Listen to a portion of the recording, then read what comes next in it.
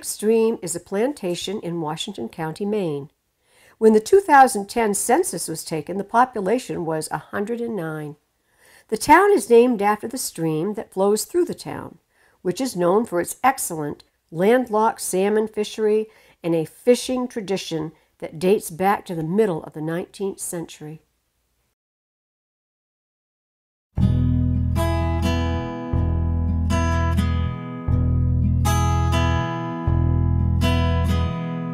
Little boy was fast asleep, out cold in the back seat. Car pulled in about midnight when a million stars shone bright. Boy wakes up, smells the pine, fooling with a fishing line. He'll never be the same again. His whole life changed right then. When everything was green and blue, and everybody smiled at you. And Daddy, can we stay a few more days? I never want to leave this place. One road in and one road out, magic things to dream about that little heart can't seem. To say goodbye to Grand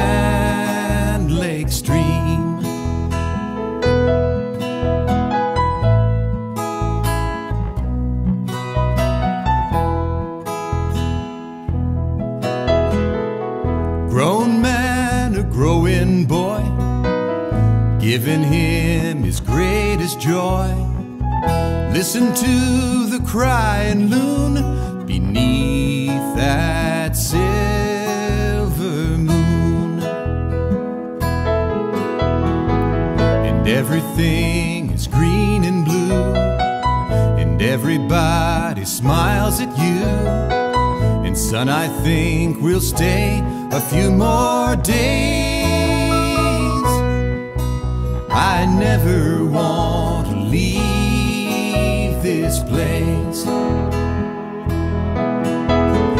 one road in and one road out, a different life to dream about that grown up heart can't seem. To say goodbye to Grand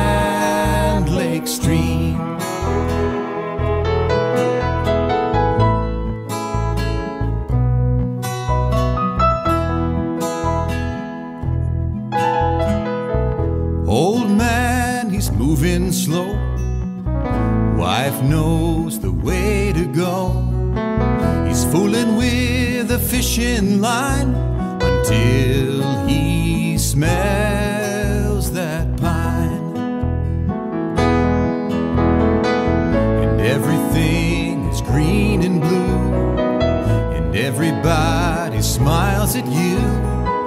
She's hoping he can stay a few more days.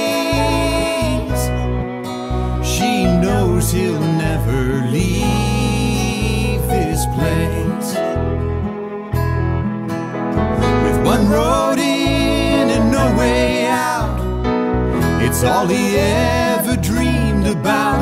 That man could never seem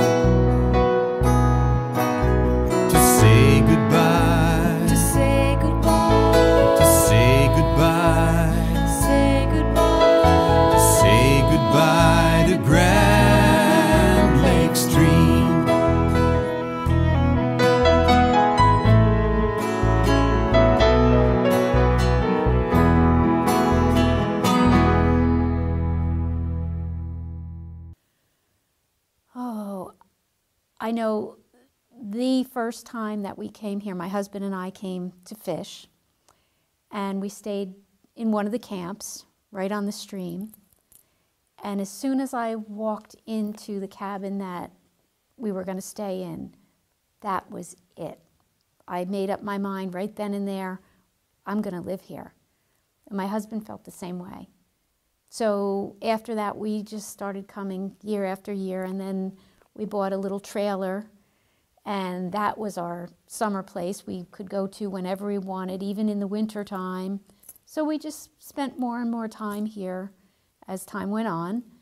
And then um, I got laid off from my job, and other things happened, and we decided if we're not going to move now, we're never going to move. So we left New Jersey and lived in our trailer for a couple years.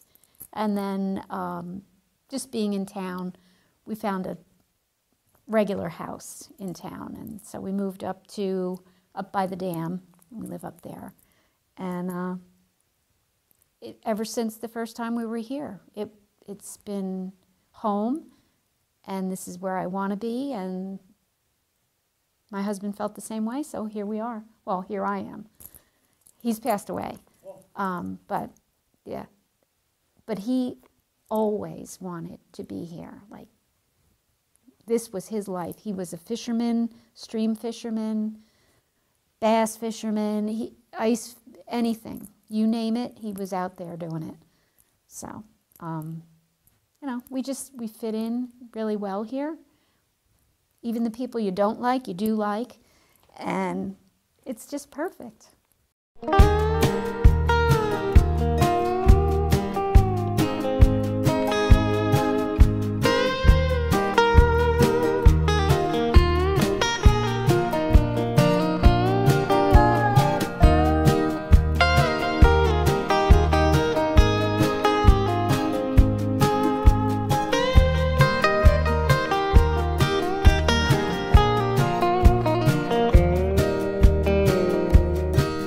In a town this size, there's no place to hide. Everywhere you go, you meet someone you know. You can't steal a kiss in a place like this. How the rumors do fly in a town this size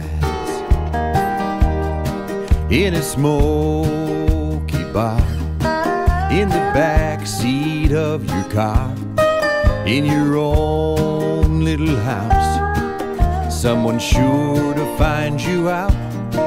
What you do and what you think what you eat and what you drink. If you smoke a cigarette they'll be talking about your breath in a town this size. There's no place to hide. Everywhere you go, you meet someone you know. You can't steal a kiss in a place like this. How the rumors do fly in a town this size.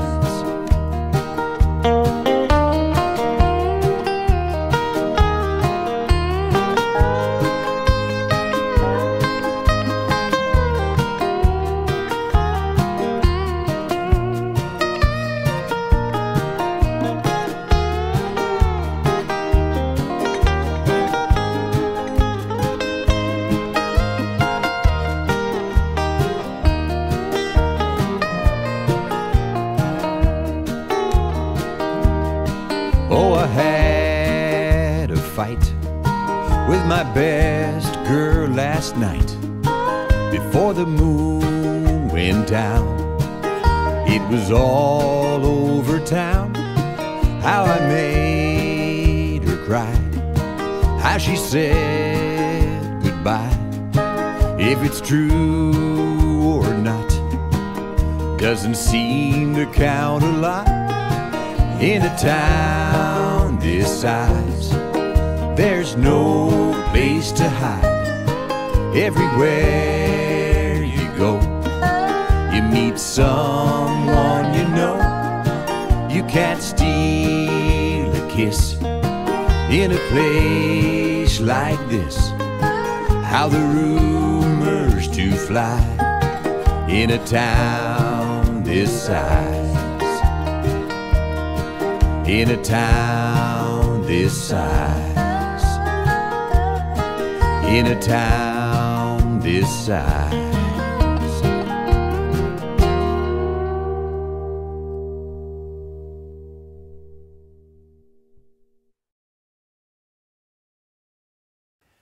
Started remembering more when we got to the fish hatchery house when, when Dad took uh, the job at the fish hatchery, and uh, we lived right beside the school, so uh, got to play on the school grounds and then play on the baseball diamond. But uh, I went to school here for six years before I went to Woodland. So, and I had my mom teach me for two or three years, which was a little strange, you know. I mean, mom, I know my brother would walk over with her, and he- said one time, he says, "Mom," and uh, he always had to stop calling her mom when he got to the walkway that went into the school, and then he says, "Mom," he says, "I like you, but he says sometimes Mrs. Calligan I don't like." he had her a little longer than I did. So, uh, yeah, we had uh, classes here in uh, in one of the rooms, and it was uh, one through uh, fourth grade, and then fifth through eighth grade. But I, I didn't make it through the eighth. I went to junior high in Woodland, and uh, so that's about 64, I guess, that I went to Woodland, and uh, things were different then. But uh, it was great growing up here, and the kids were really uh, all friendly with each other and hang around with each other because we went to school and you were all in the same classroom. It was just everything you did together, you know. So it was great growing up as a group like that. So we were all pretty close. What kind of things did you do after school? Oh, wow. Well, this in Grand Lake, it's almost like summer camp year round up here. Is uh, I mean, you just all the opportunities to do anything and everything you wanted to do. I mean, we we probably wore our bathing suit all summer long, rode bikes on it, played baseball, went swimming. You just went from one thing to the other. I mean, it was a great place to grow up. You got the opportunity to do the fishing and the hunting and uh, snowmobiling, skiing. I can remember when uh, we'd jump on our sleds and up on the top of uh, Weatherby Hill there and uh, could go all the way right down the main road, slide with your sleds, you know, and we uh, had a lot of fun doing that and building forts and stuff like that. So, and, and the kids in Grand Lake were, were always pretty tight. Sure. I'm Jimmy Williams. I'm the son of Ralph and Ruthie Williams. I was not born here, but I grew, up here from like the time I was three days old and went to school here. Grew up here, worked at Weatherby's, had a whole career there and stuff. But uh, growing up, it was great. I grew up with a great bunch of friends. It was Peter Yates, Pam Yates, and Calvin Brown, Frankie Bagley, Bernie and Chicky Calligan, Susan Wheaton, Sally Ann Nason. Um, and that's what really bonds me to this town is the friends you grow up with and just being in the town. Uh, a lot of the things that I remember is being outside all the time, whether it was summer, spring, winter, or fall, and playing.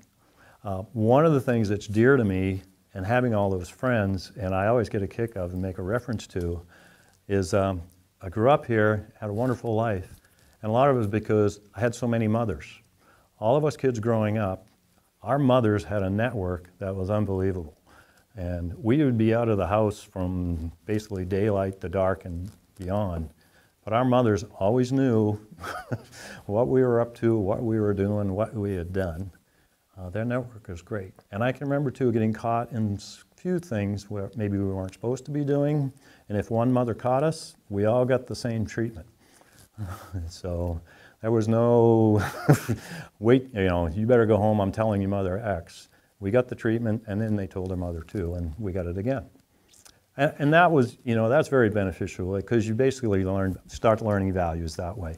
You know, actions takes consequences. And you start learning it early on here in Grand Lake. Some of the other of my favorite memories here is right here in this little schoolhouse. That's where I started from kindergarten all the way to sixth grade before we got sent to Woodland. Uh, and then, uh, you know, down here in this little gym, this used to be a gym. And uh, my favorite teacher of all time, Mrs. Calligan, would have us down there, and she taught us how to play basketball down here. We learned how to do the Virginia reel down here. And it was funny because if you look at a bunch of kids and stuff around here, we didn't all even girls the boys and all that stuff. Some of us who were the younger ones, Chicky Calligan and myself, sometimes had to be over on the girls' side to play a do the Virginia reel. But then again, it's all lessons learned. You learn how to play together, how to get along together, and all those different things.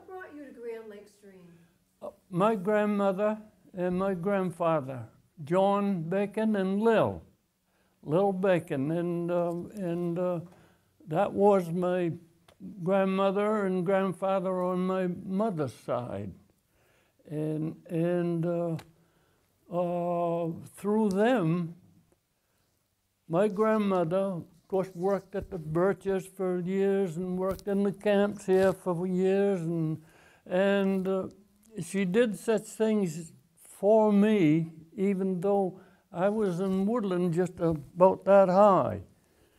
But she'd save turtle eggs that she'd get off the, the sandbank up to the Birches and bring them down in a coffee can to let me let them, uh, you know, get big enough to get out of the can.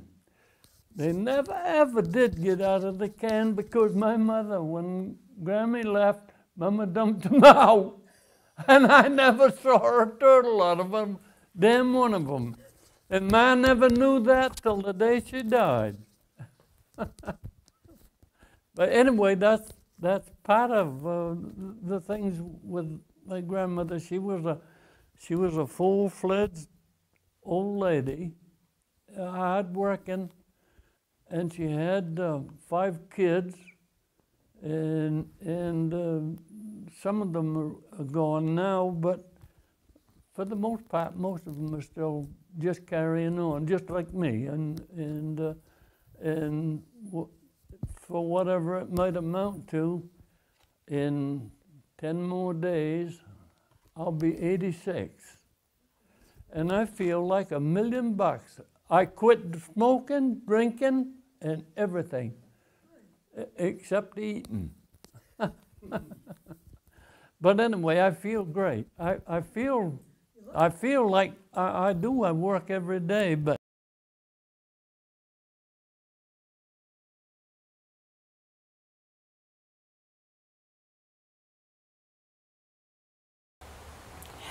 My name's Elaine Berger. I used to be Elaine Nason when I was a child. I grew up here. I was born here. I currently reside in my grandmother's house, which is now my house.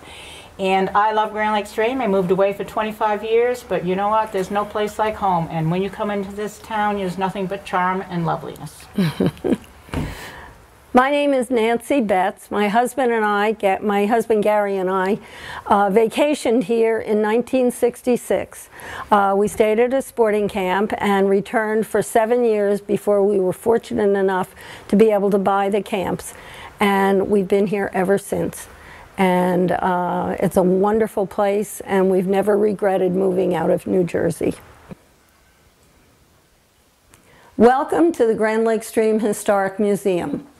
Uh, this building dates back to 1871 when Billy and Julia Brown owned it.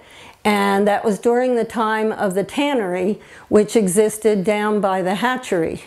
Uh, at that time, there were upwards of 600 people that lived in this town at the tannery working in the woods to provide the hemlock bark that was used in the tanning process. Uh, this room that we're in was added on to by the former owners, uh, the Kellys, uh, prior to our purchasing it. But the rest of the building dates back to 1871. This beautiful organ was donated by Barbara Wheaton's family, and according to our organist, Elaine, it still, you can attest to the fact that it still works well. It works great. Walter Elliott was the founding president of the Grand Lake Stream Historical Society um, back in 1986, I believe. And he was an amateur archaeologist, so we have um, quite a few pieces that he uh, collected, as well as some petroglyphs that were found along the, the uh, banks of Grand Lake Stream. This is a copy of an original painting that was done by J.H. Rose, uh, the original owner of what was Colonial Sportsman Lodge. Uh, we sell these as a fundraiser, um, and we have limited number of copies. We started out with 50, and I believe we're down to about 20. Uh, the painting was done in 1886. These pictures are of William and Julia Brown, the former owners, the original owners of this homestead. Uh, William Brown, known as Billy, had dairy cows and sold milk and butter. Uh, Julia Brown was a midwife, and uh, she would go around town with her little black bag. And the kids soon learned that she would deliver babies. So they'd ask her, Mrs. Brown, do you have a baby in that bag? Back in the late 1800s, according to Minnie Atkinson's book, the world's largest tannery existed where the hatchery is now. At that time, men would go work the woods and stay at lumber camps, featured in the lower right picture. Um, they would stay there for weeks or months at times, um, leaving their women back at home to fend for themselves pretty much. Uh, they would stay in rustic camps and there would be a camp cook that would provide meals for them. Uh, the picture to the left of that is of a pile of hemlock bark, which was used in the tanning process. Um, to the left of that picture is a picture of the Shaw Brothers tannery chimney that remained after the fire. Uh, the, the tannery burned twice actually, and then it actually went bankrupt, and that was the end of the tannery. At that point, uh, the boarding houses that housed a lot of the tannery workers became what are now known as the sporting camps. Before the advent of the square stern canoe, uh, double enders were hauled up lake by steamboats, and the sports and their guide would go up lake. They would get into the double ender canoes and be guided during the day. At the end of the day, the guide would either paddle back or be brought back by the uh, steamboats. Uh, there were quite a few steamboats that worked the waters of Big Lake and Grand Lake, and when they were done with them, uh, quite often they were burned, and the remains of them are still in the, uh, the lake. The picture up to the left shows the U.S. Fish Hatchery in 1877. It was the second U.S. fish hatchery at that time. We have several collections of arrowheads. Uh, this collection was uh, collected by Steve Fair, who owned a camp on Grand Lake Stream. This collection was donated to us by the Perry family, who have a camp up on West Grand Lake. Sonny Sprague was a well-known guide in Grand Lake Stream, and his family donated this collection that Sonny collected. I mentioned earlier that Walter Elliott was an amateur archaeologist. These are castings of petroglyphs that he took, um, that he found along the banks of Grand Lake Stream. And these are some of the dolls that Our Lady from Grand Lake Stream, actually from Rockland originally, made. And uh, she used to take people that she knew and make these dolls in their portraits. This is a folk art drawing that was done by John Martin, the accountant for the Shaw Brothers Tannery. It was done back in 1882. We learned of its existence through a letter that we received from a lady who was doing an article on a buffalo hide tannery over in Burlington. Uh, she sent a very tiny picture of what she thought might have been the location of the tannery in Burlington. Um, one of our members, Audrey Ammerman, blew that picture up on her computer to a picture about the size of maybe 12 by 14, and we could clearly see that it was of Grand Lake Stream. The original exists at the Metropolitan Museum of Art in New York. We were able to get permission from them uh, to have a digital file, buy a digital file, and have this very large uh, reproduction of that print. Um, had it not been for the lady's letter and the little picture, we never would have known this existed, and it's a real treasure. A unique family compound on Sysladobsis Lake, just west of Grand Lake Stream, is called the Dopsy Club. It was founded by the grandfather of a prominent Massachusetts businessman, Henry S. Dennison. It gained national recognition between the world wars through the work of one of Maine's greatest outdoor writers, Edmund Ware Smith, who was Dennison's son-in-law. Family members of Henry Dennison have set up this wonderful display of items from the Dopsy Club. One of note is the Old Come and Get It, which was featured in Edmund Ware Smith's books. Uh, apparently that became a very popular item in each of the, of the um, books. So we're fortunate to have that here on display. In 1891, there was a land scam called Lake and Wild. Um, a, a lawyer from New York, we believe, set up this whole scheme to sell all these lots to people, about $100, I think, a lot. And um, it's all on swampy horrible land for building anything, and he he sold it as if this was going to be this enormous, beautiful community, and he even put himself down as the justice of peace of Lake and Wild. And uh, a few years ago, some people were going through uh, stuff from their parents or grandparents or whatever, and they found a deed, and they thought maybe that it was valid. Of course, it wasn't. But they sent it to us, and we have it right here, and it was marked in March 12th, 1892 but it was a big scam for the area. Uh, back in 1944 and 45, prison German prisoners of war were housed in dormitory style buildings in Princeton, uh, which is now Indian Township. These were originally CCC buildings that were converted into housing for these prisoners. Um, they were brought to the woods during the day to work in the woods since the men were off at war. And we've learned that there were prisoner of war camps throughout our country in almost every state um, filling in for the men that were away. Uh, if you drive through Indian Township on Route 1, these two markers show the location of where the camps were. At the end of the war, we, they received a letter uh, from the prisoners, um, grateful that they had been treated so well. And there's a copy of that letter on the wall there.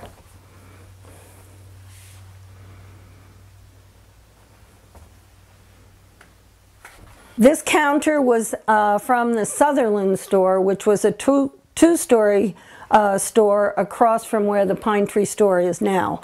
The cash register was actually from Furbish's General Store in Princeton. The waffle iron um, is a, a, design similar to today's electric waffle irons. It would have been put on a wood stove, uh, heated up, the batter would be poured into there, the lid closed, and when it had cooked for a little while on that side, you would flip it to this side. The drawer was used for the cash, and as you pulled it out, a little bell went off, which I assume alerted the storekeeper uh, if someone was in the drawer that didn't belong there. They didn't have buttons to push to tell you how much change to give back, so they had to figure it out themselves with these well-worn little um, compartments, and the bills would have been kept down here. Minnie Atkinson lives, lived in Newburyport, Massachusetts. Uh, she would spend her summers in Grand Lake Stream with her uncle, and during that time in the uh, early 1900s, around, well, around 1929, she wrote a book called Hinckley Township or Grand Lake Stream Plantation. Um, it's a good history of the town, and we do sell copies of it. And over here we have Buffalo Bob Smith and Ted Williams, a wonderful baseball star, and Howdy Doody, of course. Now, Buffalo Bob and Howdy Doody were great friends, as we all know. And uh, Mr. Smith used to play the organ in our church sometimes, and uh, Ted Williams was very popular with people in this town, especially the ladies. But uh, we were very honored to have both of them. They were very nice people. Harry Merritt was a professor emeritus uh, from the College of Architecture at the University of Florida. He came on board uh, when we purchased the uh, Brown homestead and helped us convert the homestead into a beautiful museum. When he, we outgrew the barn and needed uh, more space for our canoes, Harry um, donated all his time to um, come up with this beautiful guides gallery. He said we had to highlight the guides of Grand Lake Stream and their heritage. So thank you to Harry Merritt. We have some of our wonderful guides who are now no longer with us. We'll be fishing in that. Anyway, there's Carla Fitz up there in the left. Excuse me. And then we have Ralph Beach, Preston MacArthur. We have uh, Bill White. You got the mic. Oh, jeez. I. That was Valmore up there. And then we have over here, I can't see very good, Bill Sprague, Jack McKelvey, Leslie Brown, the father of the person who is now taking these pictures, Eddie Chambers, Earl Bonus, Ralph Williams, Walter Brown, and uh, Chester White, Bill White, my grandfather Horace White, Carter White, Sonny Sprague, Paul Hoare, who owned the Pine Tree Store, and over here we have Louis Cataldo. Woody Wheaton was born and raised in Grand Lake Stream. Uh, he went on to guide up on East Grand Lake where two of his sons had sporting camps. This is a wonderful representative um, example of a working guide's canoe with the bait bucket, the old tackle box, and all that went with it. Uh, on the center seat is a, a picture of Woody. Uh, here on this wall are featured uh, old motors that were donated to us. Frankly, I don't know a lot about them. That's when we like one of our male board, board members to be here. In our far left, we have Alva Harriman, who was my neighbor, Randy McCabe, Lewis Brown, Frank MacArthur, Frank Allen, and Jim Cochran. And then we get down here with Timmy Bacon and Carlton Yates, Woody Wheaton, whose canoe you saw a little while ago, Richard Brown, Ollie White, Gerald Holmes, and Joel Fawcett, who used to write articles for fisherman magazines.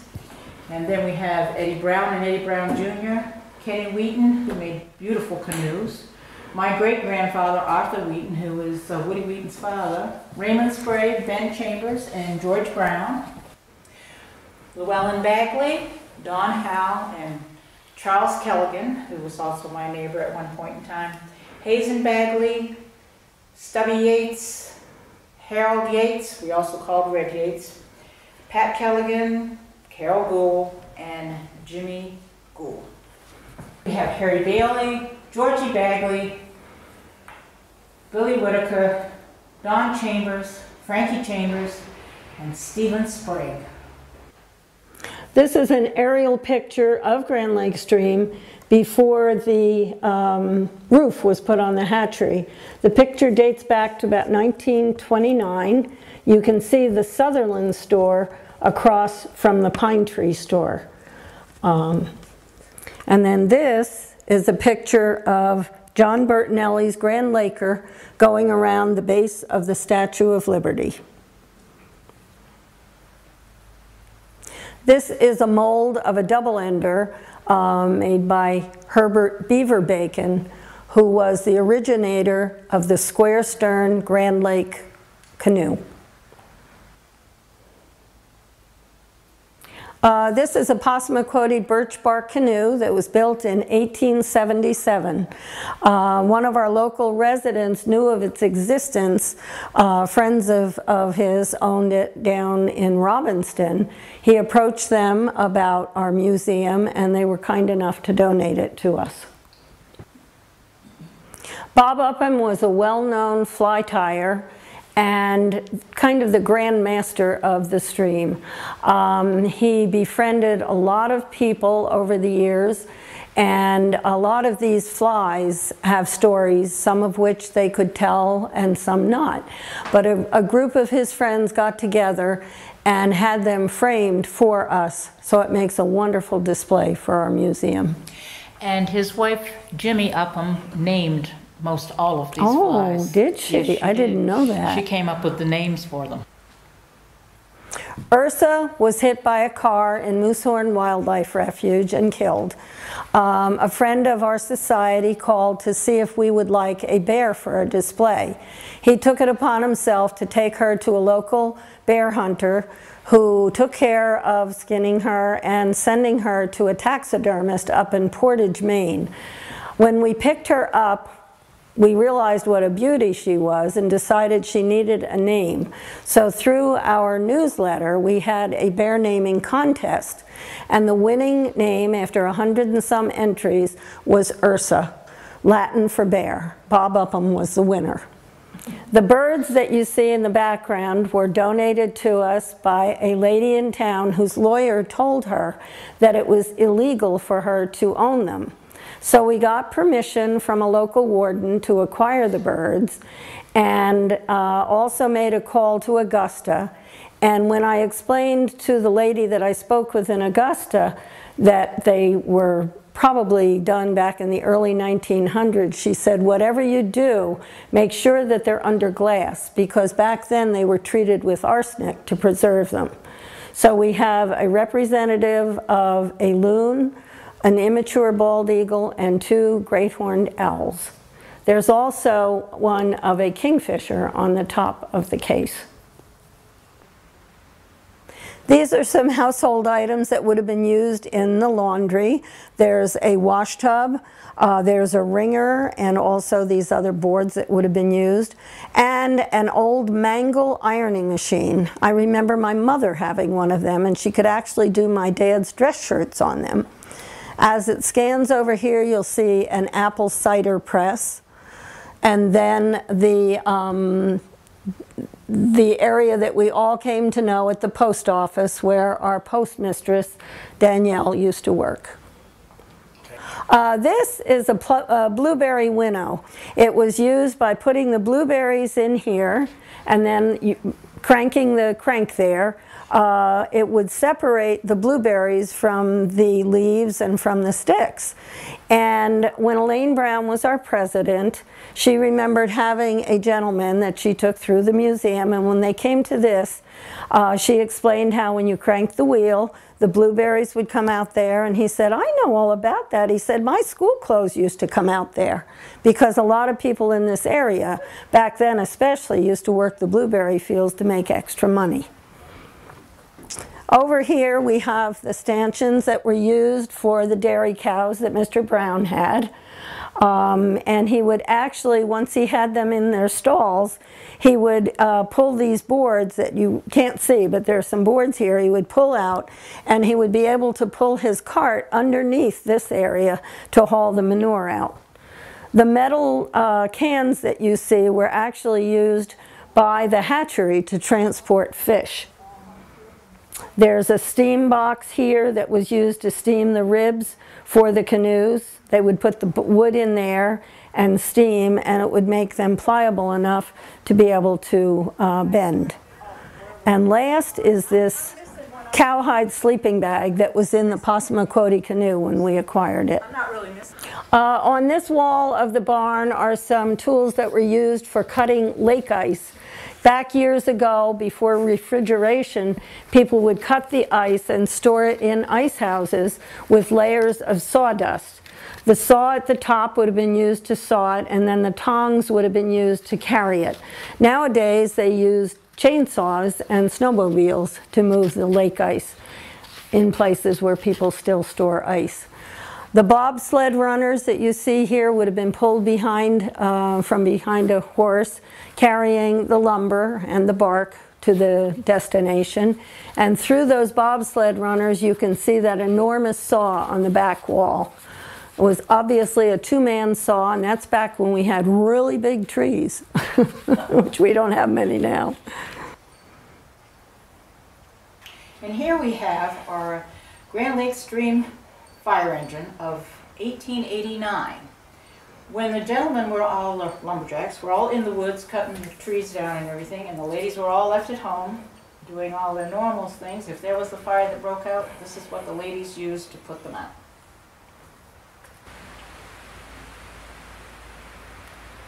On this wall, you'll see some of the tools that were used in the tannery for scraping hides. We also have a few pieces of hemlock bark and uh, tanned hides that were recovered from the stream, I believe. As you scan that table, you'll see a bowling pin that was from the bowling alley that was, a, I mean, yeah, the bowling alley that was along the canal, yeah. Elaine? Yeah. Mm -hmm. And then tools that were used to determine the amount of wood in a tree um, a shoemaker's uh, model there, and some other various items. One of our favorite stories is of one of the cows that Mr. Brown had as he was leaving the, leading them into the barn to go to their stalls. One of them decided to go up this set of stairs and in doing so got wedged. So Mr. Brown had to pull while his wife somehow got above the cow and pushed and they were able to free her. Um, our guess is that he probably sold her soon after. And now you've seen, we've closed in the door on our little tour here, just, and we've just seen some of the many, many highlights of this wonderful historical society. Thank you so much for joining us on this tour. We hope to see you on a future visit in person. Thank you.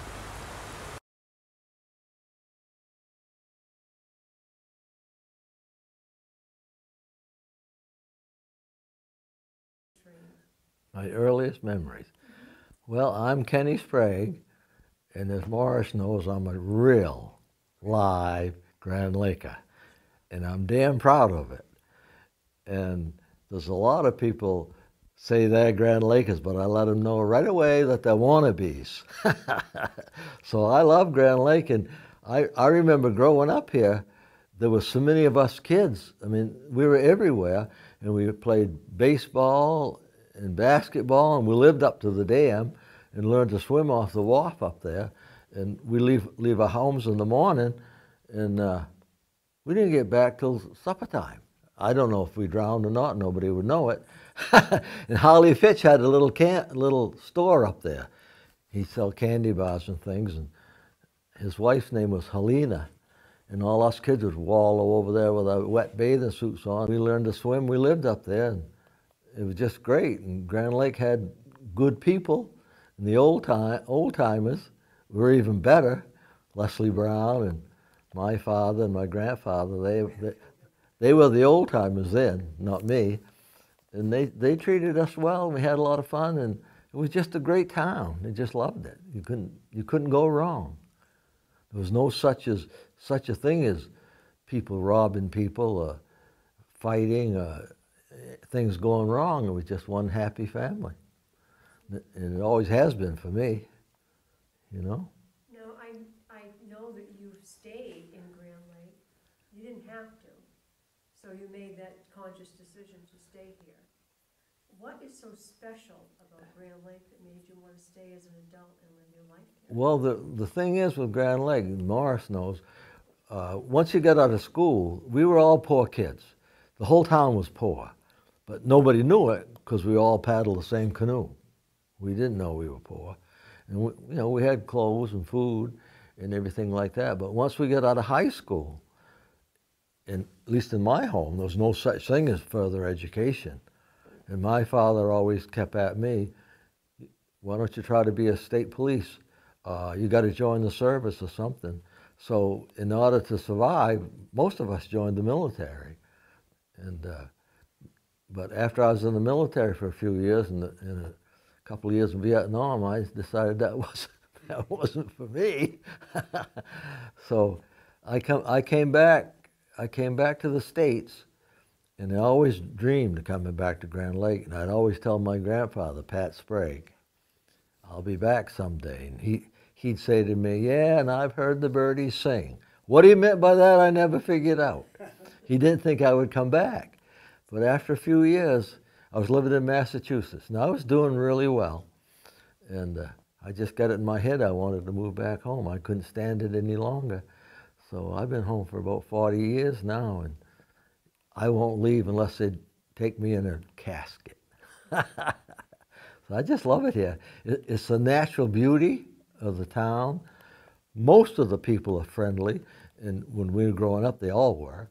You know, we had the lakes and the stream, and I was I was a, just like Johnny Brown, Morris's father. I was a vicious trout fisherman, and I could always go get a bunch of trout. I loved that, and I hunted. Me and my father were the biggest criminals in town, and, and loved hunting, and. Uh, you know, it was just it was just my world, and it still is. I have no intentions of going anywhere, so I just love Grand Lake. To have a good time all the time, you know. Yep.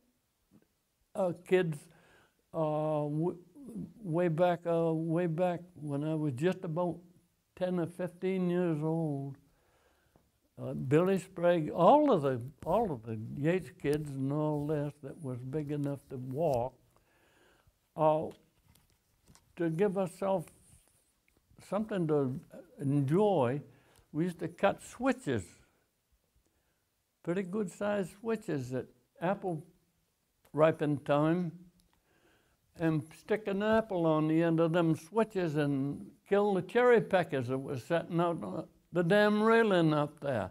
I don't know how many we killed, but, but we got caught at it anyway. And I, I thought we were all going to go to prison, but we didn't.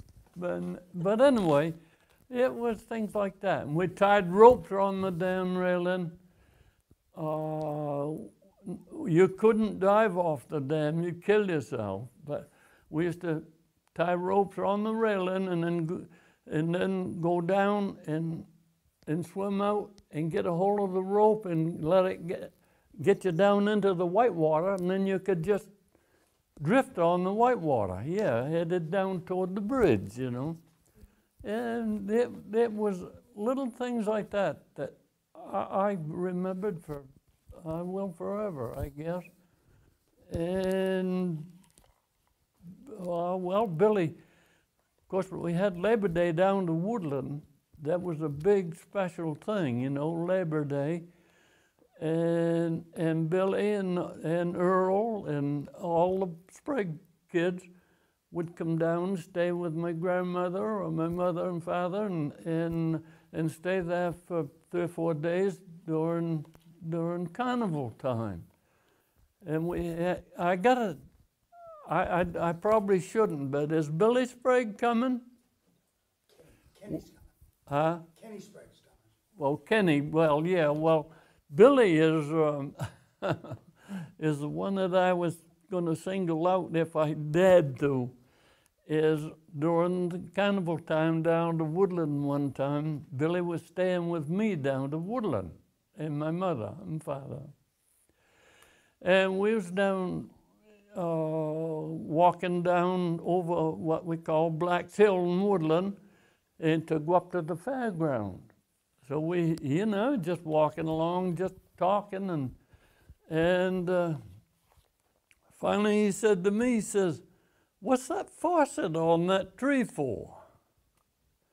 I said, "That's where the carnival people water their animals, the horses and cows and whatever else they got with them." He said, "You're kidding?" I said, "No." He says, "Can you drink it?" And I said, I wouldn't. It's coming right out of the river right over here, you know. And he says, Oh, dear. Then he says, Oh, I'll tell you something. He went over, and this is the gospel, God's honest truth. He tried to pee up that faucet, and he peed right in his own face. and I've laughed over 10 years over that. And, and I told everybody that I come to, you know. And, and that is the truth. And I was hoping that he might show up so I could razz him again. But, but anyway, that's, that's probably the dirtiest story I can tell. What about guiding? You're, you're a guide. Oh, I guided for, yeah, I guided till I was old enough to, I guided when I was old enough to get a license, which I did. And I got a I got all of that stuff at home. I kept it. And I, I guided, uh, well, out of Princeton, uh, Grand Lake mostly, but Princeton and some down to the mill. Some of the boys down at the mill knew that I was a registered guide. And so people that were coming in, salesmen and stuff like that at the mill, on occasion they'd call me and ask me if I could take them fishing, uh, you know, and, and, and I could. And usually at the, the, the club down the Woodland right there in front of the mill, there was the clubhouse where they had suppers and meals and and then they used to pack my lunches up and man what a lunch that i got from them but I got people from everywhere, you know, and and I I got so I loved it. I I did. Now I'm just too damn. I can't do it. I can't. I just can't do it. Too much. Are you much of a fisherman yourself? Pardon? Are you a fisherman too? Yeah, yeah, fishing and hunting. Uh, that's been a good part of my game all my growing up life, and I. I was a notorious bandito. I almost got caught too, uh, jacking deer and, and in a corner in the house one night and she says, I'm going to beat your ass to death if you don't stop this goddamn poaching. And that put the fear of God in me, I'll tell you that. I didn't do it anymore.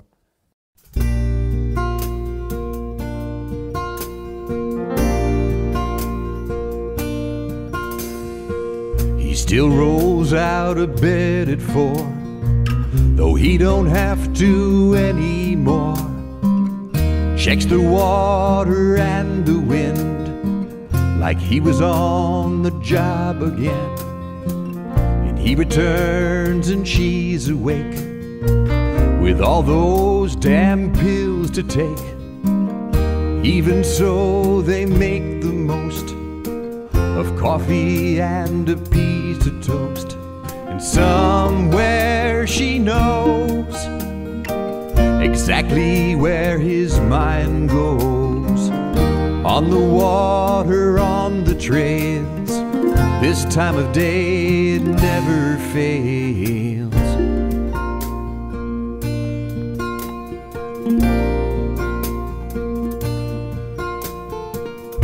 Then again, he's out the door for a paper at the store. Takes a turn around the dock. If no one's there, he'll skip a rock. When he returns, he'll watch her bake an apple crisp or coffee cake. Find her hand around his wrist. On his forehead, find a kiss. And somewhere she knows exactly where his mind goes. On the water, on the trails, this time of day it never fails. Old Maine Guide, there's so much inside the old Maine Guide, and it's in his eyes that somewhere he knows. No matter where his mind goes, everything is safe beside the old Maine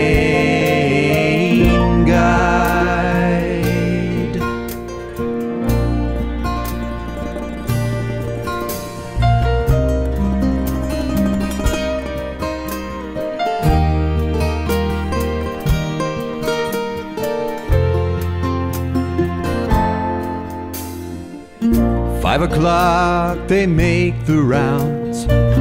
See the changes in the town. Spot an old familiar face. Another time, another place.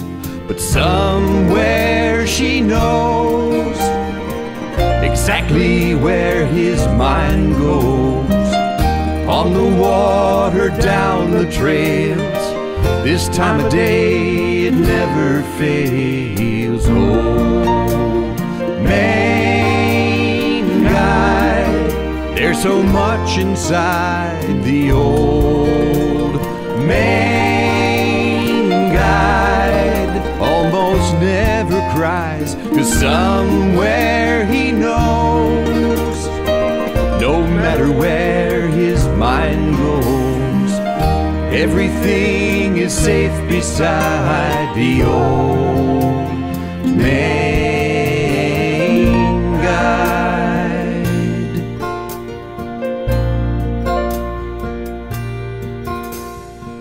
He still rolls out of bed at four, though he don't have to anymore. Checks the water and the wind like he was on the job again.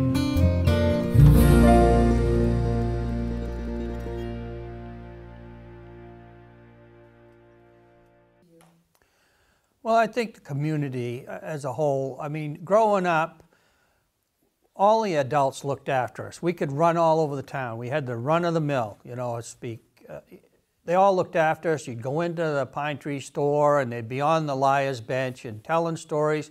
And, they would, and we'd always go in because they teased us. And we always like to get teased and whatnot. So uh, you could go to anybody's house and we all got cookies or whatever, brownies and whoopie pies all over town. So you knew where to go to get something to eat. And the whole town basically looked after the kids. And, and they were a close-knit community.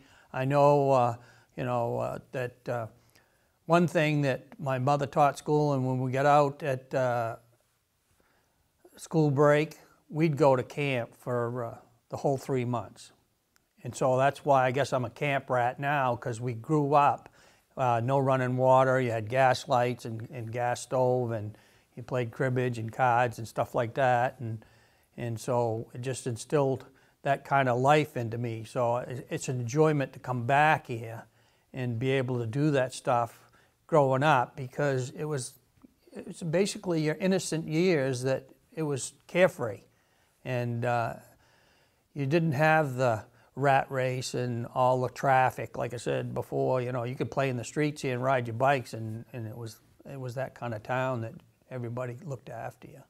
Tell me about the Liar's Bench. Why is it called the Liar's Bench? Well, that's it's just the stories told there, uh, uh, you know, with the different adults that was there, you know, uh, Val Moore and uh, uh, Ollie White and uh, Eddie Chambers and you know that group there would always be sitting on their bench talking and whatnot and telling stories. So they called it the Liar's Bench, and uh, it was always comical to go in there, but uh, we really enjoyed listening to their stories. Yeah, I can remember one time we were down behind Paul Hoar's store, the Pine Tree Store, and we were playing. It was Frank Bagley, Jim Williams, my brother and I, Chuck, and uh, got in a hornet's nest, a real bad one. I don't know if we were putting the rocks to it or whatever, but uh, it got onto us real bad. And and of course I could run pretty good, so I beat feet and Chuck beat feet. But Frank and Jimmy was just getting stung galore. So we run up around the front, and I know that was it was the same guys, Val Moore and a bunch of them sitting there out front, and they took those kids and and took all the shirt and stuff and t-shirt right off them, you know, and whacking the and got the you know hornets right off them. It uh, it was kind of comical now, but not at the time. My name is Kathi Milicia. I am the first assessor in town. Um, I've lived here full time for about eight years. Um, started as a summer person, um, and I don't usually go around saying that I'm the first assessor. Um, but I, like I said before, I think it's relevant that I've only lived here eight years, and the town has accepted me to the point where they've drafted me into a governing body, and um, it just it feels right, um, and it shows that once people accept you here, you belong here, and you are theirs, and that's the way I feel now. You know, I belong here. Um, think it's I, I don't know that I could describe it. Um, that cabin itself is very close to the stream, and you can hear the water running. So I would I wouldn't even sleep in the bedroom. I slept out on the day bed so that I could listen to the stream, and that to me was perfect. That and the fact that the camp owners that we stayed with are very welcoming people. They make you feel like family, and they're also from New Jersey, so maybe that counts. Um, but my husband and I used to um, joke with each other that this town is like Mayberry, the Andy Griffith show. Um, and it is. It is. It's like a step back in time, the way people are close to each other. It's more like a family, and in good ways and bad. Um, you know, we fight like family, saying bad things, and then, you know, as soon as you sense that somebody needs something, it doesn't matter what you don't like about them, you're right there. And that's the way people have been with me also. So um, it's, it's home. You know, there, there's just a, a feeling of belonging for me here that I never had anywhere else. Even in New Jersey, growing up and raising a family, I never felt this way. Um, it's safe, it's comforting, it's it's home. It's I don't I don't know that I could really um, explain it. Um, And my husband felt the same way. It was that first visit, we had been plenty of other places for fishing vacations. We like to fish. And um, besides the great fishing here, uh, it was just the feeling that you got from the town. And before we moved up here, uh, we used to call ourselves the wannabes. And we would make a little banner and walk at the end of the Fourth of July parade and put on the bottom the wannabes. And uh, eventually, the wannabes became here we are. So um, you just have to, you know, I think if you want to fit in to something and you don't want to come and change the whole um, town, you can find a place to fit in and be accepted and find your place here and be home. It's not hard.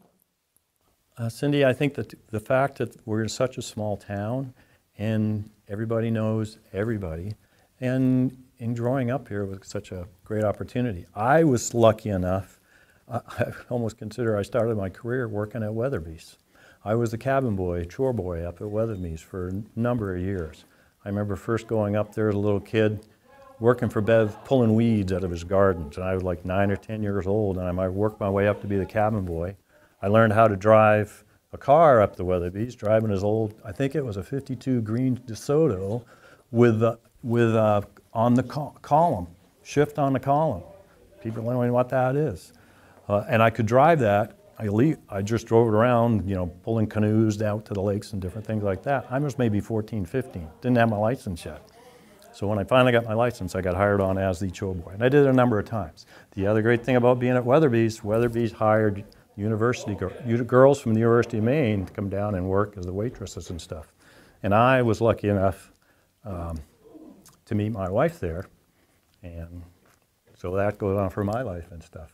So it worked out well, and I'm still married, and we're looking at 48 years this year, and it's what a terrific. Um, I don't know how blessed, how I'm so blessed to have such a uh, beautiful wife and that stuff. Uh, other things that I learned from this town too is going uh, out through my career.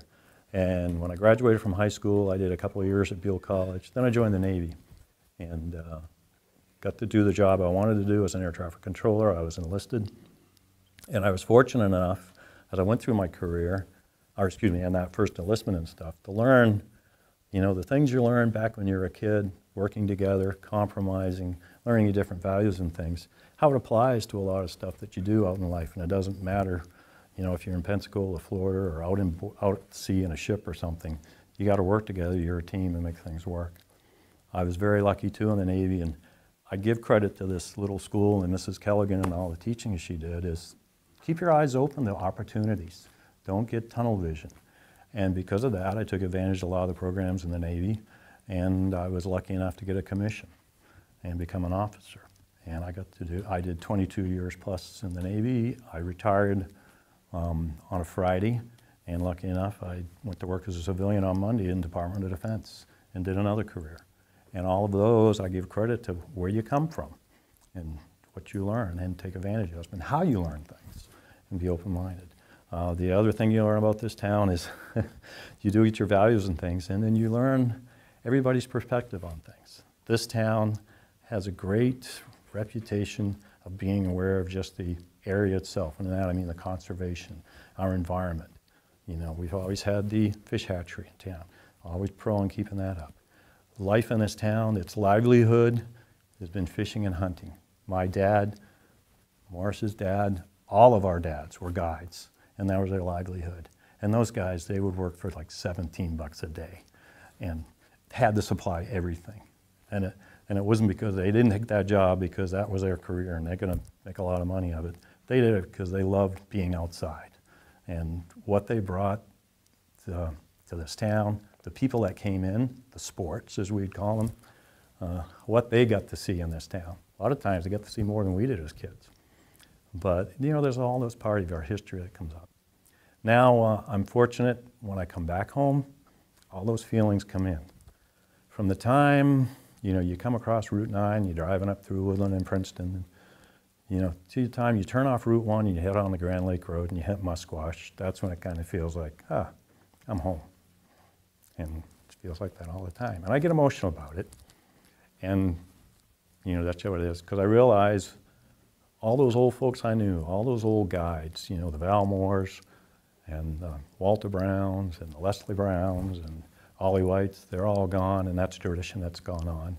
And you're not seeing that quite anymore. But what it is, it's in your heart, it's in your brain, so it'll always be there. And stuff. Yeah, so it's a very special place for me. Hello, everyone.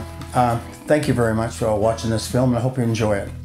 Um, my name is Maurice Brown from Bangor, and I, I was born and raised in Grand Lake Stream in the 50s and 60s, and what a special place. It was really fun coming back and doing this film. I hope everybody enjoys it.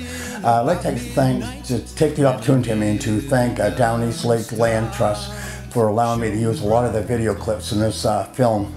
Um, I just thank you very much, and I hope people uh, have a chance. They have a chance to look at on my site, and you'll also see some other Down Lake Land Trust uh, videos. It's really, it's really it's nice. It's really well done. Um, I'd like to thank uh, the following people: uh, Bernie Calligan, Kathi Milicia, Jimmy Williams, Jack Perkins, Ken Sprague, Nancy Betz, and Lorraine Elaine Berger. I'd like to thank you for putting your time in and helping me uh, do this film. And I especially like to thank uh, you showing me the museum. The historical museum is very beautiful, and I was very, very impressed. And it brought back. Uh, it was very emotional seeing all the guides on the wall uh, that you have in that gallery. And uh, I hope people that haven't seen the, the Historical Society Museum get a chance to go see it. It really will be worth your time. History is history, and uh, you can't replace that. Um, I think that's about it, except for I like the, the people that are going to be out there in uh, Las Vegas, uh, Jonathan Perkins and and Dolan down in Florida, and a few others out there that have been waiting to see this uh, Grand Lake Stream. Uh, they've been there in the life, and it just brings back memories when they see any video of Grand Lake Stream. Um, I'd like to dedicate this to my sister, my late sister-in-law, Elaine Brown, uh, who was uh, selectman, select person in Grand Lake, assessor, I guess you call it first assessor for years. Um, she loved that town, and uh, I just want to dedicate this to her. Thank you very much for everything, and I hope you enjoy this. Bye. And everything is green and blue, and everybody smiles at you. And son, I think we'll stay a few more days. I never want to leave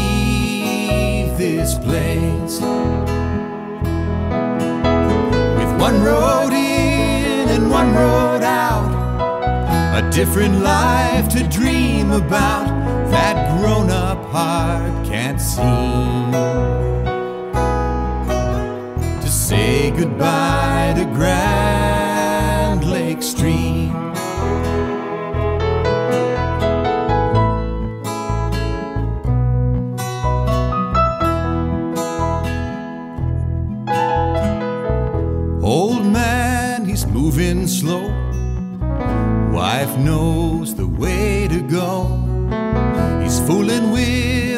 Fishing line until he smells that pine. And everything is green and blue, and everybody smiles at you. She's hoping he can stay a few more days.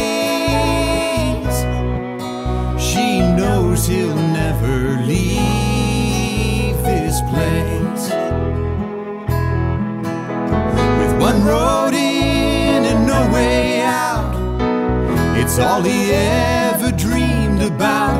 That man could never seem